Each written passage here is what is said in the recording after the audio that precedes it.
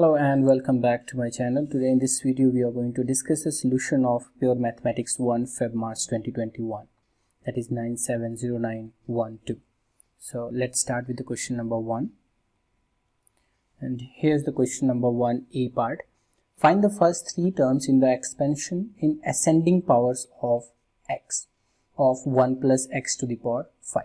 So if it is 5 we know the Pascal triangle the coefficient for 5 it is 1 5 10 5 and 1 so if, if it is 1 plus x to the power 5 then it is going to be 1 this coefficient into this 1 to the power 5 and x to the power 0 plus this coefficient 5 into 1 to the power 1 power less and x power increased by 1 and plus the next term 10 and 1 to the power 3 multiplied by x to the power 2 plus and so on. We don't require because they have asked just for the first three terms.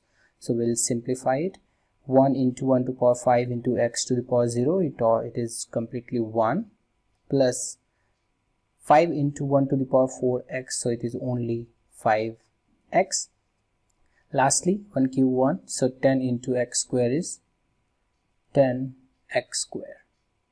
So that's the answer for this. Let's discuss the B part. Here's the B part.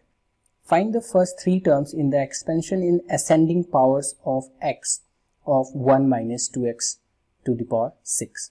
So again we can use the Pascal triangle for the sixth coefficient uh, or we can use the binomial expansion as well. But we have just used Pascal triangle for 5 so we can make the next one for 6 it was 1 5 10 5 1 so the next would be for sixth power.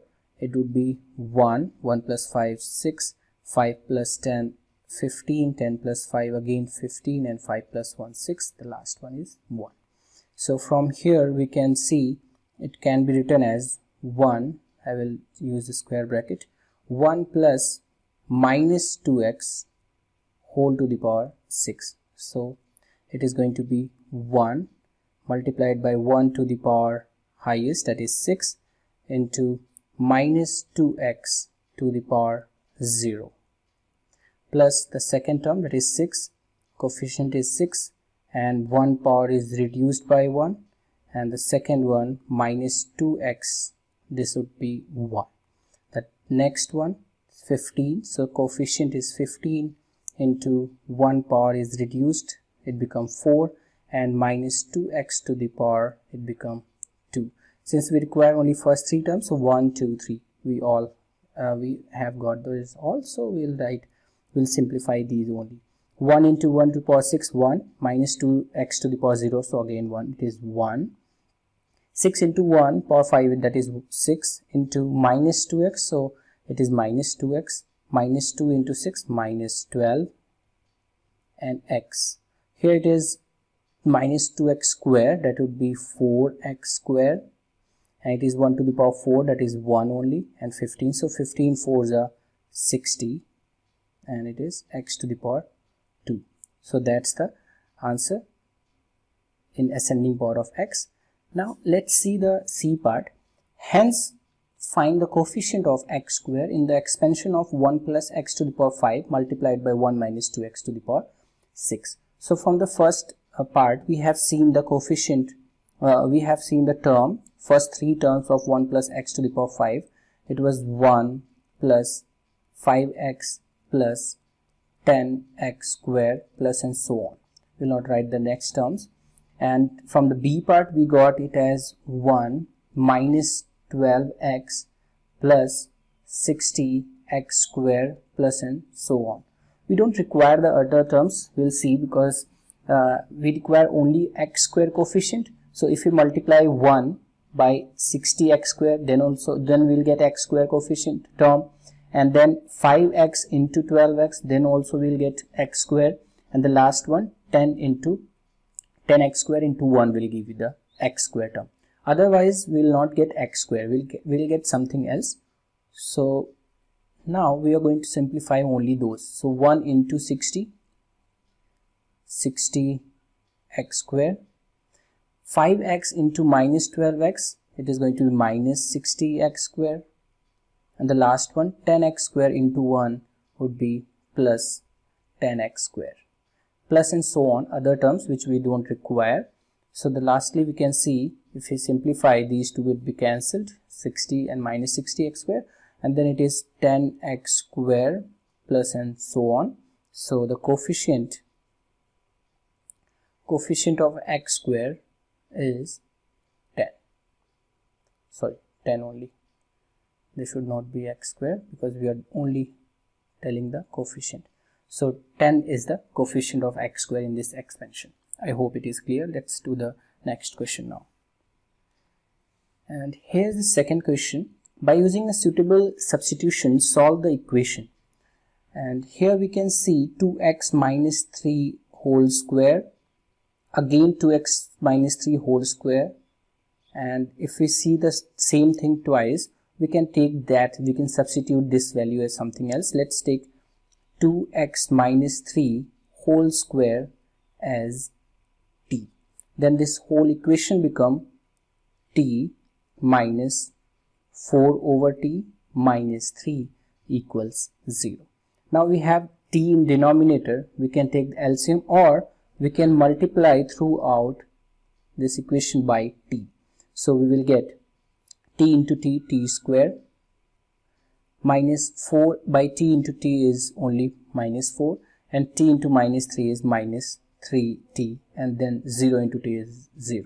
So we can rewrite it as t square minus 3t minus 4 equals 0 and now here we can see we can factorize it easily because it's 4 and 4 can be splitted as 1 into 4 and if we subtract to get minus 3 it is going to be minus 4 plus 1 which which will give us minus 3 so it can be uh, 4 minus 4 and t. So we can write it as t minus 4 t plus 1 equals 0 and hence we'll get t equals 4 and from here the next part t will be minus 1 which is not possible.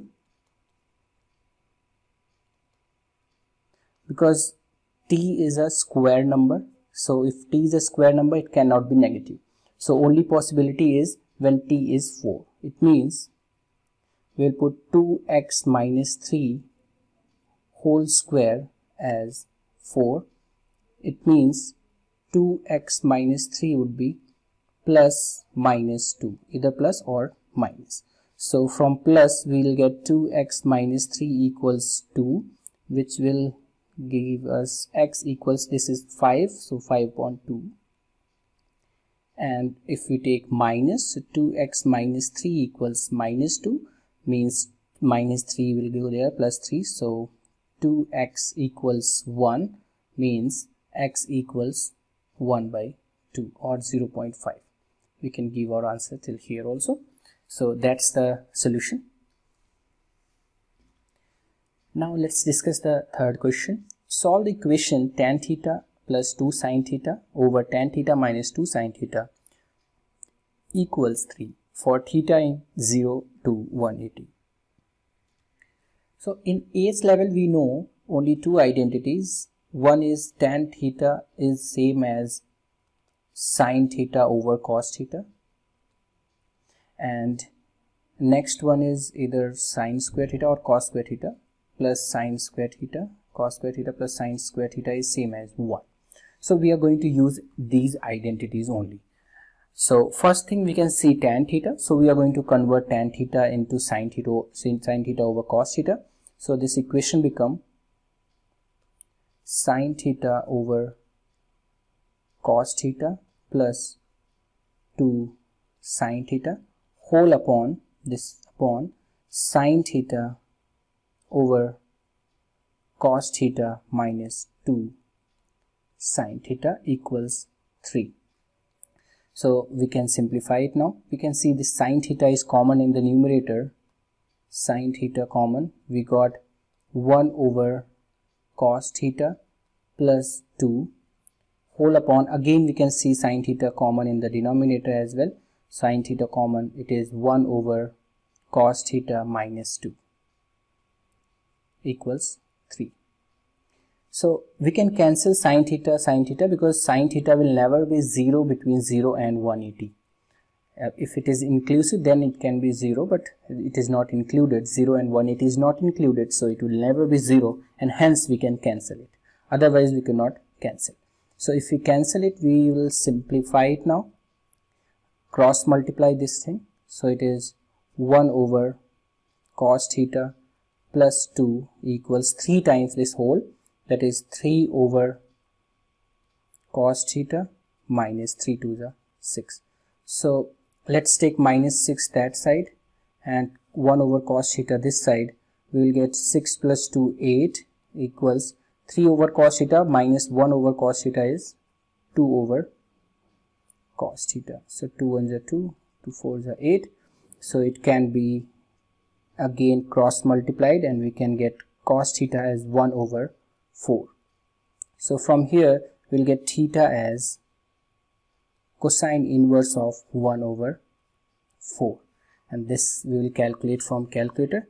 This cosine over cosine of 1 over 4 and this value is 75.5 degree and for since it is cos and in co uh, for cos the next angle is next angle is 360 360 minus theta that is 360 minus 75.5 which will always be greater than 180 so which is not going to fall in this interval. So we'll only consider our solution as theta equals 75.5 degree. No other solution is available here i hope it is clear let's discuss the next part now and here's the fourth question a line has equation y equals 3x plus k and the curve has equation y equals x squared plus kx plus 6 where k is a constant.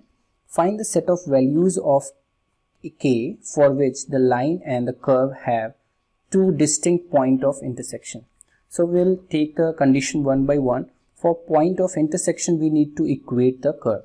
So if we equate the curve, we'll get x square plus kx plus 6 equals 3x plus k. and here we can see this is going to give us a quadratic equation. It's in x so we can make it quadratic in x first of all. It is going to be x square plus it is kx and it is minus 3x so we can take x common. So k minus 3 x plus 6 minus k equals 0 so now it is quadratic so we can use the another property that is for two distinct point we have the discriminant b square minus 4ac is greater than 0. So here we can write a value, b value and c value. a is the coefficient of square term that is 1. b is the coefficient of x that is k minus 3 in this case. And the c is the constant term so it is 6 minus k. So for two distinct point for two distinct roots actually we can see that roots would be the point of intersection so for two distinct roots b square minus 4ac should be greater than 0 or if we substitute the value we will get k minus 3 whole square minus 4 times 1 times 6 minus k should be greater than 0 or we'll simplify it. We'll get it as k square minus 2ab so minus 6k plus 9 minus 4 6 are 24 and plus 4k should be greater than 0 or now we'll make a make it as a quadratic in k. That is going to be k square minus 6k minus uh, minus 6k plus 4k is minus 2k and this is 9 minus 24 so 9 minus 24 is 50 it is going to be minus 15 greater than 0 so we can see we'll if we draw the sketch the graph of this quadratic in k so if it is quadratic in k the graph of it so we require these two points that is called root. If we get the root for this equation inequality greater than means we require for these part of the graph we require x values these x values. So we require the roots. So for roots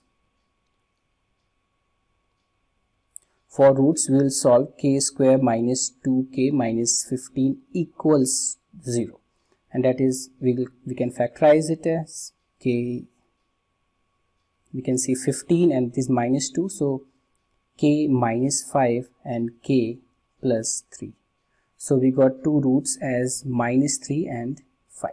So the k values we can see from here less than minus 3 will get greater than 0. For greater than uh, 5 again we will get this quadratic graph as greater than 0.